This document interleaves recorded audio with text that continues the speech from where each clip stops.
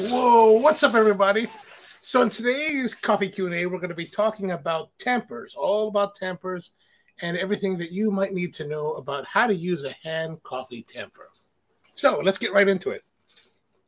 How y'all doing today, by the way? All right, so we've got our basic tamper here. This is the tamper that I prefer. This is the Reg Barber coffee tamper. And this is actually my first coffee tamper, the one that I bought back in 2003. So it's almost, it's like 19 years old. And this is really the tamper that kind of took the industry by storm. Now there were tampers that were made before this one, and of course there's many that are made after, but this is really the one that set the standard and really just brought the whole tamper industry to life. And this is the the classic, the original design with stainless steel piston and a Bubinga wood handle and a Delrin insert. All right. And some of you may be wondering, like, why is there a Delrin insert? What's this for and why Delrin? So back in the early 2000s and before when, when a lot of us were just starting out, the uh, the technique was to, you know, we would dose the coffee into the portafilter, distribute, and then we would ta- is that right? Distribute. It's been so long, so we would distribute the coffee, and then we would tamp a little bit. Oh yeah, tamp, and then tamp again. And the idea behind this whole of tapping your and people do all kinds of like things. Some people even use the the stainless steel part and they would tap all the way around. The idea was that by tapping on the sides of the portafilter, you would kind of, I guess, loosen up the sides again, and then you would tamp one more time. You would you would tamp.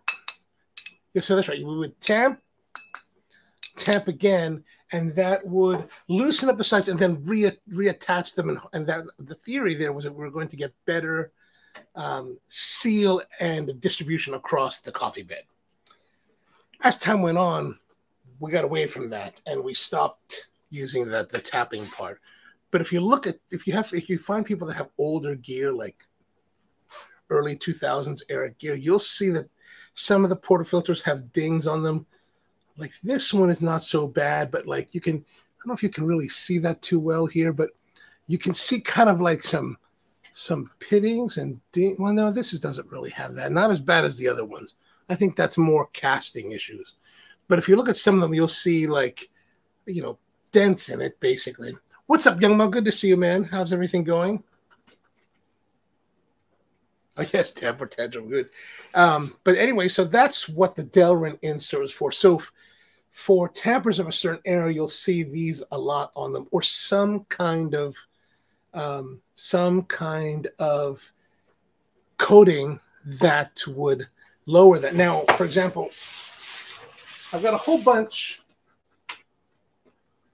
of tampers to show you here.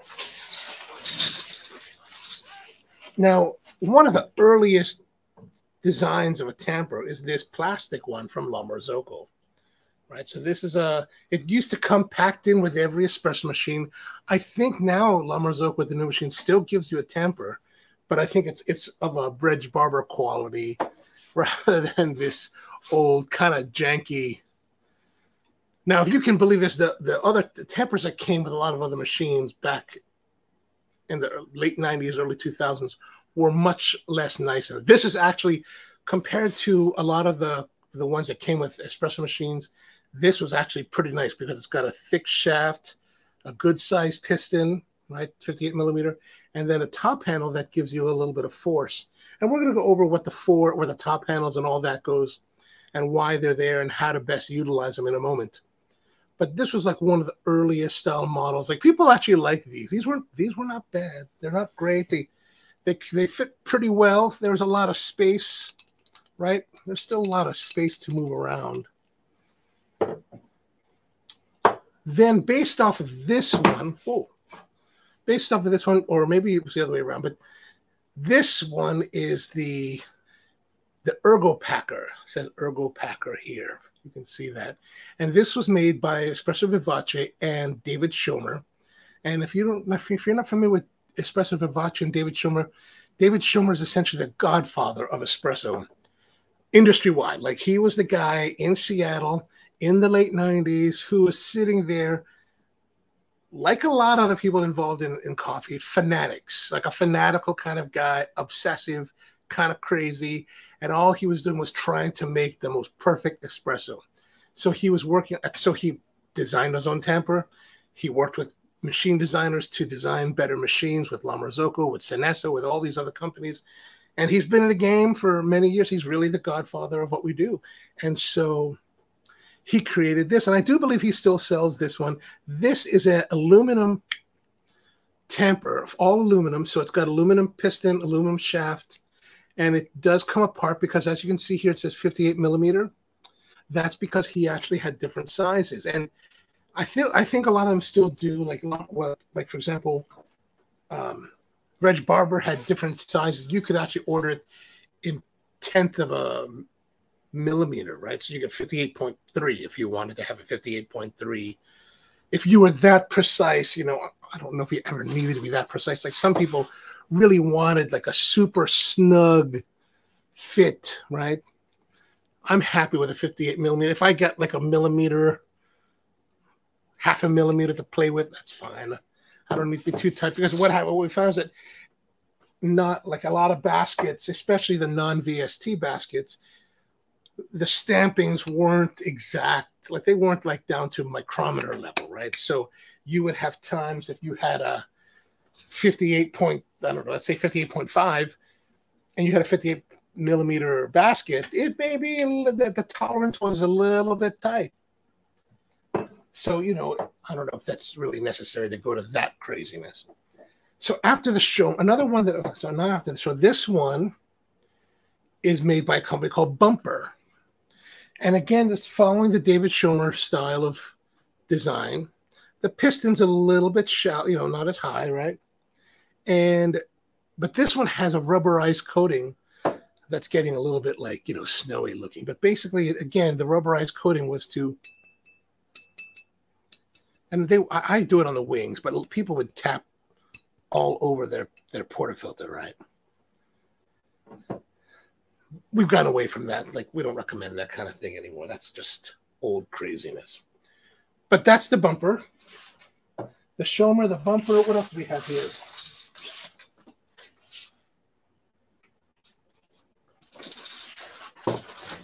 This particular one is made by a company called Espresso Parts, and it it was like one of the early competitors to the Reg Barber. Like, for example, a lot of people like the Vivace might have been the first one, the Ergo Temper, but it really was Reg Barber that really took the market by storm and really was the one that kind of made a, he made the one that you really wanted because this was handmade.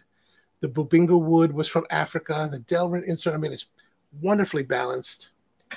It really was the best tamper made. And I still think that this is probably the best tamper made today. Even today, like Reg kind of went out of business of a couple years back, but he's back again working in the industry, making tampers. I'm not sure the procedure on getting his tampers right now, but he's up in um, in Victoria, British Columbia. So you just kind of have to go to look at his website, call him up. But the uh, the espresso parts, typically had this this kind of shape, right? So comparatively to the the Reg, it was more squat. So some people like the squat shape of it. It didn't fit. I mean, it's fine for me, but I preferred the taller. Again, a lot of what happens with espresso tampers, it's really about personal preference. So ideally, especially nowadays when there's so many choices available to you, it's best to try to like go out and find them eh, or at least meet people that use different ones and ask them, hey man, can I feel that? Can I give that a try for a moment?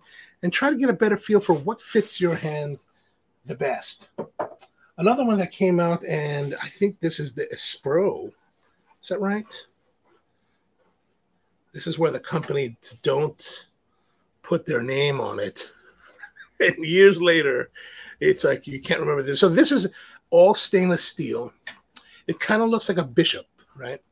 A chess bishop And it's a nice tamper, but if you, if I don't know if you can see this, but if you look closely here on the side of the piston, you can see these little dents. That's damage from tamping or uh, from the uh, the knocking on the portafilters from that era. There's even some here on the on the bottom of the piston. I don't know if you can see that too well, but that is uh yeah, that's just the old indications of how people would like, you know, tap on them. And these were all tampers that kind of resided in at Spro at the one of the earlier shops of Spro that and so people would we would let our baristas we would have a, a whole selection of tampers for our baristas to try.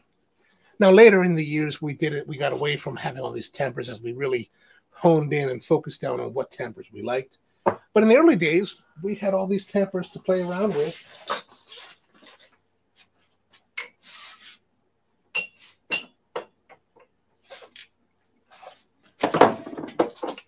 And so we got some other tampers. This one's also another James, um, another Reg Barber. This is a different one, maple wood. This one I had made for Spro years ago, and um, you could have your logo laser etched and then filled in with with an enamel on the top. And this was a flat 30, 58 millimeter burrs with the flat surface. I like the flat surface now, as we went on, this is the other tamper from one of the Spros as well. This one you can it's hard to see the logo that was that was there. It's kind of worn out. This is actually the one we use at the Hamden shop for as the primary tamper. This one has the uh this this uh oh gosh, what was the name of this style? But it's concentric, whatever, whatever, whatever. It's circular, right? And what the idea was that these ridges would kind of help push down and just kind of give more structure to the coffee bed. Now, another thing that was also popular that that the Schomer Ergo Tamper kind of has a very little bit. This one from Espresso Parts has a bit. You can kind of see them on the profile. They are convex, convex tampers, and this this other one that was one of my personal ones with with the Spro logo on it. This one also has, uh, I think it was called this uh, under Reg Barber. It was the C tamper, but this one, as you can see, has a lot more of a convex plus the circular ridges, right? And if you notice on this one, the piston is also very much more shallow. I think that was more of a weight reduction savings, and it's also it does change the height of the tamper slightly, right? So if we look at the heights they're a little bit different because there's less there's less piston. And then Reg also had these aluminum handled, like this one has a, a little bit of an, it's not convex, it's just chamfered, right? That was the idea. And the idea between the, with the chamfering and the slight convexing is that it would create a concave shape on the coffee bed that the idea was that it was going to push the coffee just ever so slightly to the edges so that you would you know eliminate you know channeling side channel channeling along the side walls. And uh, so these were um, aluminum. This one was the one that i got as a competitor from one of the mid-atlantic regionals in 2007 and these were just aluminum aluminum pis- uh, handles shafts with a powder coating, and then they laser etched this logo out of it. Now the problem with these is that especially during the earlier earlier years, when we were still tapping on the the portafilters, this that tapping on this particular tamper would chip the paint away, and so if it, some I, I wasn't I never really used these tampers, so um, I never had to worry about it. But if you see people from that era, if you have, you can see if you ever find their tampers, you'll see they're all like dented and damaged and dinged. That's why, because they're tapping it on the thing. The Lex did it. Okay, that's a, oh, so this one is a C flat. Oh, C flat is what they call it. Now this one is just there's no con convex, right? It's not convex. There's no chamfering. It's just straight circular patterns, and that's kind of like I said. It's kind of like um, I want to say irrigation, but it's kind of like you know just to hold like little troughs to hold the the water inside the coffee bed, right? Now, this particular one's a little bit of a just something fun that I have. This is a tamper that Reg Barber made from the 2007 World Barista Championship. This was the champ. This is the tamper that won the 2007 World Barista Championship. It was gifted to me by James Hoffmann. We were all there in Tokyo, and he was like, "Hey, man, I don't know why he gave it to me. I forgot why he gave it to me. But he was like, he gave it to me, and I was like, oh, because he had just used it to to compete at the finals, and this was the one that he used. There it is, famous. My my true claim to fame is a James Hoffmann tamper. All right, so that's the basics of tampers. Now, what is it that now now well let's go on. So we now have in modern times we now have tampers like this one, which I can I never really get this right. So this is this particular one is uh, well, you know what this is. So these are the new generation of tampers that are designed that you can adjust the height or the depth of the piston, and then and I don't know why I can't separate these two right now. Uh, anyway, shows you how much I use them. These were actually um, tampers that I these this set was one that I bought uh, in Asia a couple years back because I was just curious, right? They have all these ones that are out there that are like 200 bucks for like just this. And I'm like, well, I'm not going to spend that kind of money. That's crazy. Not for something I just want to test. And I don't know if I'm, I don't know if I'm even like that interested with. But as all of you know, there's the distribution tool, right? The WDT and then there's the tamper that you just kind of place in your you place it in and then it sits and you kind of push down the nice thing about these is that it helps you to get a pretty even tamp right? One that that requires very little work to do. You basically set it in here push down and you're done. And you've got a relatively flat puck surface which is great. And that's that's a good way to go, especially if you don't want to or have the time to. Goodness, this is just. I mean, these were the cheap Chinese knockoffs, like 35 bucks or something like that. But you know what what's really nice about these is that they are they're easy. They're easy to use. You don't like this these type of tampers, these hand tampers, really require practice. There's no there's no way around that to really get um, to really use them properly and really to get the best results out of them. Oh, Young must asking, was James Hoffmann famous in 2000? No, no, James was just another one of the guys. You know, I've known James pretty much since he started in the business. Um, so we're him and I entered the business about the same time. Of course, James was based in London. He was working for an espresso machine company. And, you know, but James always been a real thinker. He always thought deeply about coffee and, and how to do it. And so, you know, we're all, all a lot of us are from the same era. So we all knew each other. And back then, in those days, there wasn't there wasn't really the internet in the way that it is today. Like, you know, you can go to YouTube.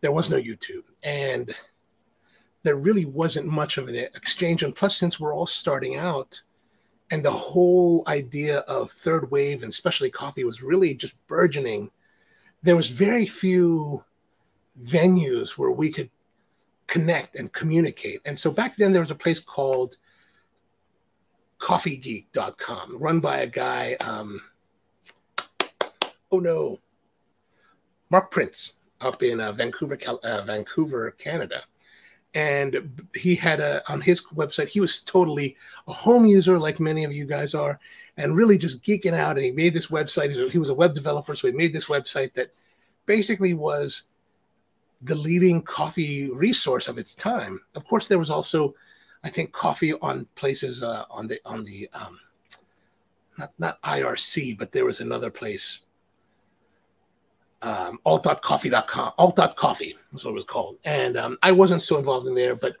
you know, somehow I found Coffee Geek and a lot of us congregated there to discuss theory. And then later, uh, a lot of there another guy up in Vancouver, first or that part of Canada. These Canadian guys are really interesting. I don't know why they were always the ones that created the websites, but another guy created a, a website called Coffeed.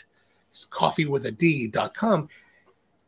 And a lot of the professional discussions happened there. Like, you know, we would all talk. And so that's kind of how we all got, we would all throw out our ideas. And of course, you know, when you're new to the business and you just have, when you have a little bit of knowledge, you want to wield that knowledge like a sword, like as though you're ready to slay everyone and everyone is wrong and you're ready to vanquish the world of their coffee sins. So all of us are out there battling each other day in, day out. You know, myself, um, who are the famous people today? James Hoffmann was, of course, part of that. Um, your favorite Korean dad, Nick Cho, was in the business at the time, and he was part of that discussion. So, yeah, we were all there arguing about coffee. And yeah, so that's pretty much that whole deal. But no, in 2007, James was just one of the guys. He was just winning the world championship. And he was, I think he was just it was before he yeah he was before he wrote any of the books he was or maybe he was in the middle of writing the books and um, yeah we also had blogs that we all wrote like he had a blog called jim seven i of course had a blog ono coffee and we all talked about coffee and theories and you know pontificated about stuff we didn't really know too much about and so now that you get older and you're more experienced and you you're just not as not fanatical but you're just not as uh you just know that you're not completely 100% right all the time and everyone is wrong. all right, so let's get to it. Let me put these aside here. Our tampers. I only have all these tampers because, you know, I, I've been in it at, for a while and I have a sickness in that I like to have gadgets, but the gadgets, you know, but lately I haven't really been keeping up with the gadgets. Okay, let's get into it now. We're going to use this tamper here. This is the tamper we use at Spurs. So again, there's the basic components of the tamper is the piston, and this one's a stainless steel. And what I like about the stainless steel is it gives some heft to it, right? It feels heavy. And, and you know, if we take something like the Schomer one, it's a nice one, but it, it doesn't have the heft, right? Like it's lightweight. This has some heft, some real feel to it. So it really gives you like positive reinforcement, I feel. And then we've got the shaft. Now, the shafts will have different shapes. I personally like this shape. Now, you may not like this shape. You may find other shapes to your desire, but I like the way that it fits into my hand. All right. And so let's go over the basics on. Oh, yes, you have to find them. You have to look for those. All right. So, how I think that, so if you're going to use a hand tamper, like the whole technique for using these type of tampers is really different. Like I don't, I think that depending on how much you're pushing down, but we'll go over that later. But this, with these hand tampers, you want to have, you want to pay attention to your ergonomics. It's super important to be cognizant of how you're handling the tamper because it can improper technique can lead to repetitive stress disorders. And you don't really want that. Carpal tunnel syndrome things like that those are not fun. So so be careful with how you use it. What you want to do is i teach our baristas that they want to be you want to have all of your holding power of the tamper in two fingers your thumb and your middle finger right? And basically you're going to be holding the tamper like this. So the thumb actually is vertically in line with the piston. And as you can see, I've got the the top of the piston really kind of wedged here on the on the palm. This this little muscle right here under the thumb. Right? You want it to be like that. And then basically the the finger, the middle finger just wraps around here at the top of the the at the at the bottom of the top of the piston, I guess is the best way to put that, right? This little bulbous area, you want it to wrap around here. And so you're really holding the piston, the tamper with these two fingers. Now the other fingers just kind of wrap around and they don't really do too much. Like this one here just kind of like hangs out at the lower part. And then these two just kind of wrap around. Otherwise, you're tamping like this. And, you know, we're not that highfalutin. Right. So you just kind of wrap it around. And that's the basic way you're going to hold the tamper. The idea is that your the the shaft of your tamper is in the same line as your bone. Fibia? Fibia. I don't know what the bone. I, 20 years into this, I still haven't figured out what bone it's supposed to be. But basically, you want it to always be in line with this bone. You never want to have any bending, you know, compared to that bone. It's always, if you can imagine that this is an extension of that bone and that it will never, it'll never bend, that's the best way to think about it, right? And you're going to be tamping that way.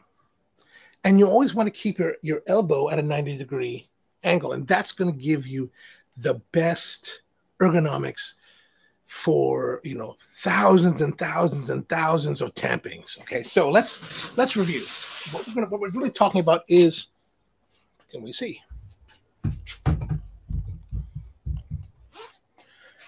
So as you can see, we're gonna hold the tamper and I'm gonna tamp. Oh, what's the best way to see this? So if I'm tamping, you can kind of see that I'm tamping like this. Now I'm also contorting my body around so that it holds, and really you can. That's that's fine. Can you see that? Okay, good. Maybe over here. So you want to have your tamper doing that, and you want to have it like this. So you can see that I'm actually holding it kind of you know, like that, right? So now, how do we practice this? Now, in in, in theories of, of espresso, we like to use so many pounds of pressure while we're tamping. The amount of pounds of pressure really are arbitrary. The important thing is that you do it consistently and consistent pressure at Spro and you know the theory that we subscribe to, it's about 20 pounds of pressure. How do we practice that? The best thing is to do is to take a scale. This is just a cheap analog home scale that I got from Target or something like that. And this is perfectly fine and great for this purpose. You don't need anything fancy. This is probably like 20 bucks. Just a simple home scale. Okay. Now, if you have any questions about this, just feel free to ask them. And so what we're going to be doing is, as you can see here, we're going to be tamping until we reach 20 pounds, right? 20 pounds. 20 pounds. That's the idea. So what we're going to just set this on the tabletop.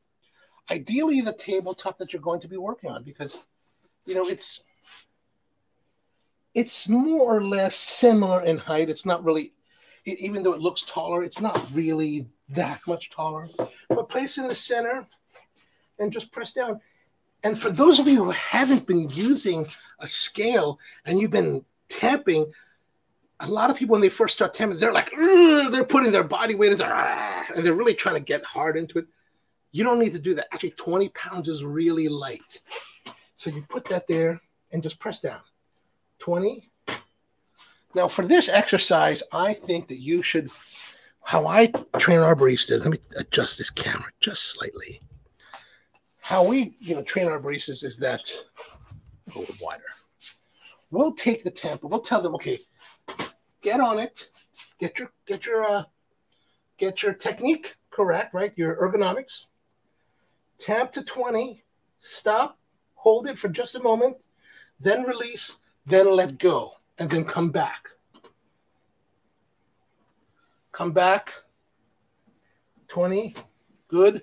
Come back. And why are we doing this kind of let go, push down, let go? Because we want the barista to get into the flow of, they're not always, like you could just sit here and go, uh, uh, uh, uh. but that's not really, that's helping you to understand how much force. But what you're really, what we're really trying to do is get the get you into the practice of being able to grip the port, the being able to grip the tamper in, with the right ergonomics in the right way so that you can get to the point where you're basically just going to be doing your thing, coming out, and then going for it, right? So that's essentially the way that we, we do that. So those are the basic tips on how to use a tamper. Get back down to the level so you can we can talk a little bit easier. Now, when it comes to these type of tampers, right? Of course, there's just this thing, and I think that I don't know if there's really see. This is what I don't like about it, right? So you're pushing, you're going to push down like this, right? And I can my concern is that with this, because you're now pushing like this, so your wrist is bent, your hand is bent, and you're pushing down. Now, if you're just pushing down like this, right, like this, without bending, you're you're just kind of going from your side, and you're pushing down, or more like pulling down rather than pushing. That's probably okay, but it's this concern, this pushing down part that I personally would be concerned about because you know, especially if if you're not if you're not taking the time to if you're just letting the weight of the tamper do the work for you, but if you're actually pressing down, then I think that could lead to repetitive stress disorders and like you know injuries on your wrist, and that's the thing that I think is a, a bit concerning about that. Like the other one, the distribution tool, you're just putting it in there and spinning it around.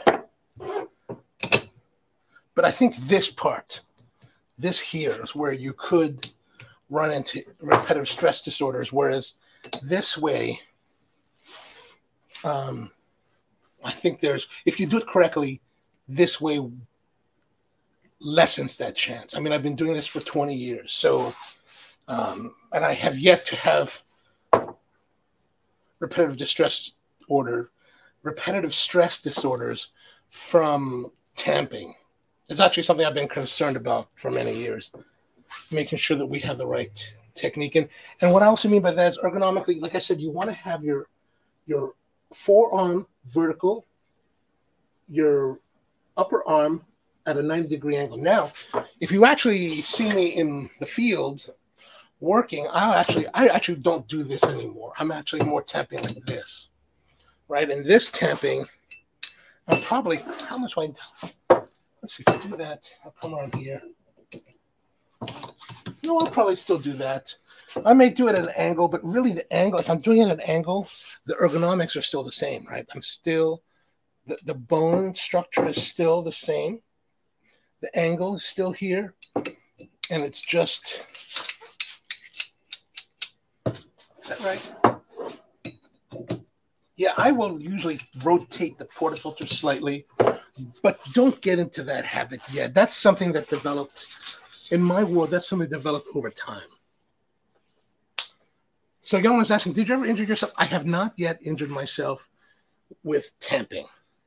I have injured myself with hot water. But you know, that that's a whole nother story.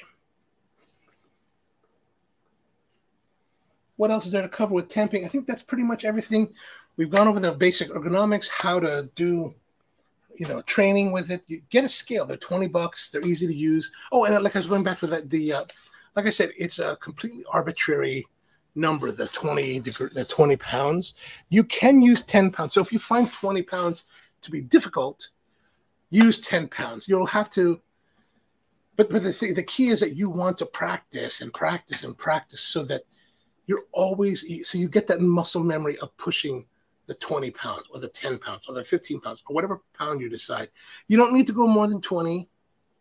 Like you could go to 100 pounds if you really want, but there's no real need for that. Um, there is also the argument that you don't have to do that, right? Like, arguably, this type of thing, the distribution, and this doesn't really put much pressure on it, I don't think.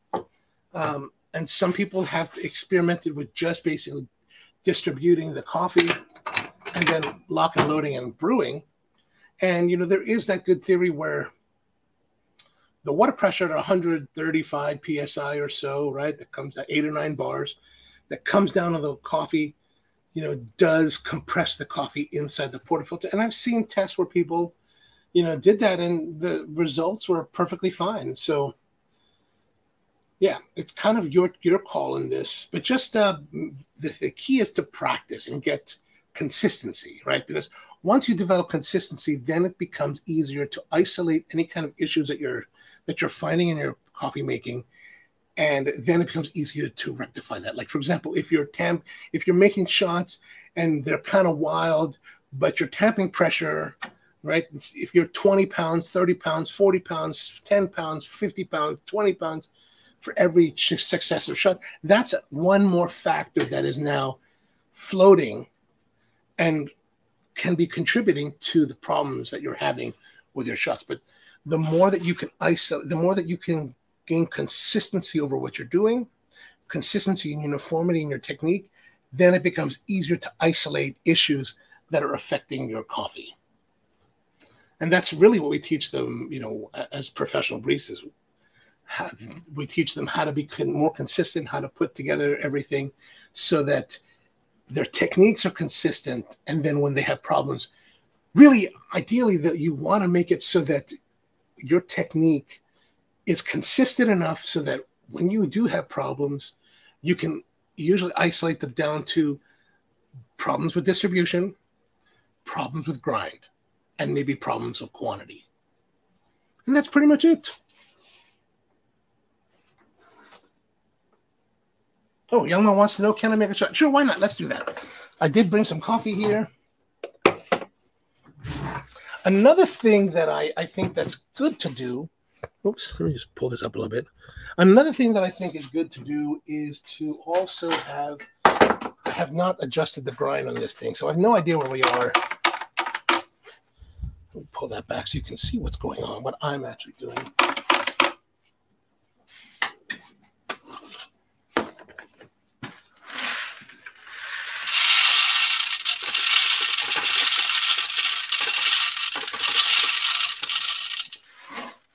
It's a good thing I have some coffee left over from uh, this week's roasting. I almost don't have any coffee left. That would be just kind of strange. All right, so let's we're gonna grind, and the way that I like to make coffee is that I like to I like to utilize um, 21 grams. I know a lot of people are into 18 grams. I like 20 grams, 21.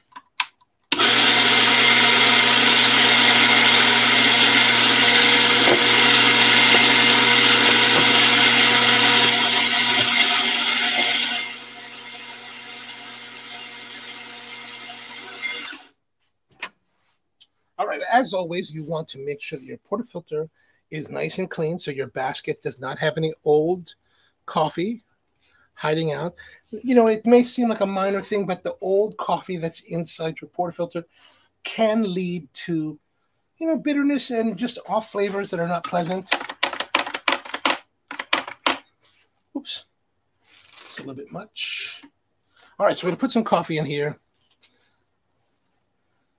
Another thing that we would do at Spro is that we would actually teach our baristas, we would do drills on dosing so that they could get 21 grams all the time without necessarily needing a scale. All right, so now that I've I'm doing the distribution thing, I'm really just using my finger to push it around, right?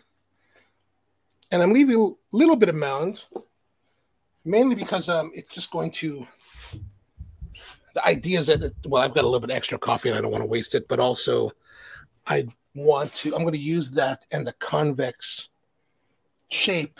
Oh no, this is not convex. This is actually flat. Well, the idea is that it's going to push a little bit on the outside. So as you can see here, this is my tamping, right? So I've got the the elbow, the the the elbow is bent, the arm, the forearm is straight, the wrist is straight, and then I'm going to give it a little bit of a twist just to give it a little polish. Now there's always a little bit left extra. So I'm going to clean off the wings. Yep, okay, good. All right, now, can you see that? Can I see that? we'll zoom in a little bit. Let's see. Zoom in a little bit. Let's see if that looks better. All right, we're to flush the group head, make sure that it runs clean. And we're going to let that sputtering get away from us. And for this particular shot, what we're going to do is I'm going to put it in this big bowl.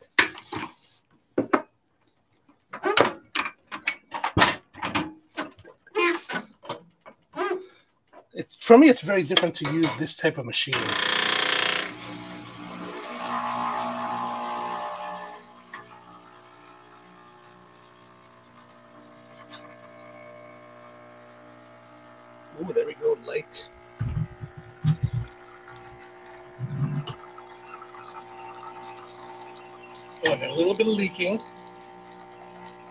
Really need to adjust that. I should be testing the grind first, but that works. Should be a lot better. Could be a lot better. All right, there's the crema. So light brown, a little bit of reddishness. See this? Like the here's a little bit of a tip. See right here, there's a little bit of blonding there. It, the coloration is different. That is an indication that the hold on, let me readjust.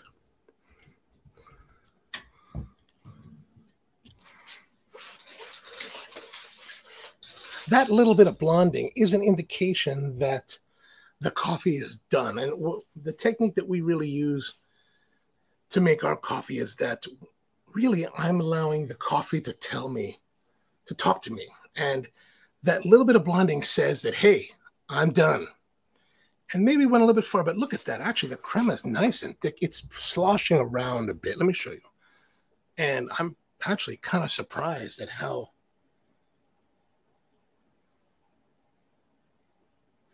nice it is. It's holding up, like even on the sides here, right?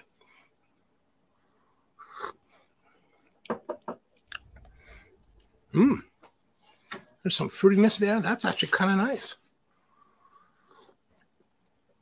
I think it's a little bit on the brighter side. It was a little bit of an elongated shot. Like I said, that blonding tells me. So, what I was saying that the moment that I see blonding happening coming out of the portafilter, that's the coffee telling me that it's finished and that's the moment when we should be stopping. This one ran went a little bit longer because we saw those like striations of, a blonde in the crema. So a little bit long. You can you can taste that here. You can taste a little bit of brightness that's happening because of that. Also the brightness because it's a little bit of a lighter roast, not our normal uh, full city type of uh, espresso roast. Young was you could probably roast outside. It's pretty hot. Yeah, man, it is blazing. Like yesterday morning, we we did some roasting yesterday morning, and I was I wanted because because what was it? Tuesday morning, it was pretty cool until about 10, 11 o'clock. Yesterday morning, we started at seven, and it was already. It wasn't as hot and humid as it is here today, but it was pretty heavy duty. All right, so that's pretty much it. If you have any questions about tampers or tamping, um, drop them in the comments. If you're watching the replay, thank you very much for watching. Drop those in the comments down below, and um, yeah, we'll work that into future live streams.